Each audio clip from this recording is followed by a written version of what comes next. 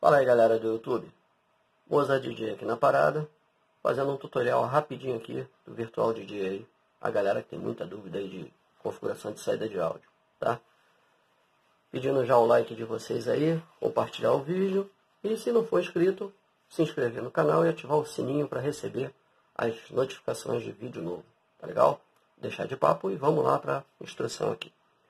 Galera, muita gente quer configurar a saída de áudio do virtual para poder no canal esquerdo ouvir o fone e no direito ter a saída que vai para o master ou para as caixas de som, tá? E por configuração padrão, o que vem é isso aqui, ó. Vou mostrar para vocês, está aqui.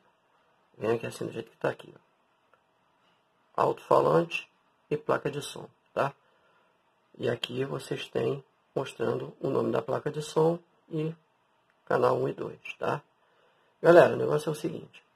Você, para poder ouvir é, um canal, um fone e o outro, o master, ou, no caso, você usar um cabo né, para poder jogar um lado para cada coisa, né, um, uma mesa de som e o outro canal para você usar o fone ou para um retorno, qualquer coisa que for.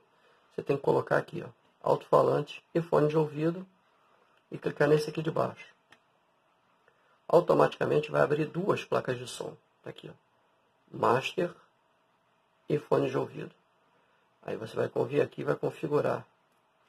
Tá? Aqui você vem canal 1 um mono. Meu já tá. E dois mono também. Para você poder ter acesso. Certinho? Feito isso, você vem aqui, aplicar. Já deu aplicar, ele já foi, ele não fecha a tela.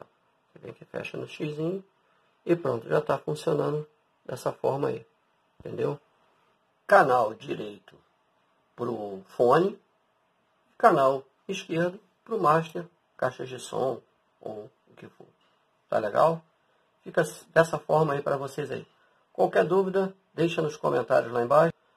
Fiquem com Deus aí, obrigado aí, e não esqueça de deixar o like aí embaixo. Valeu? Fiquem na paz.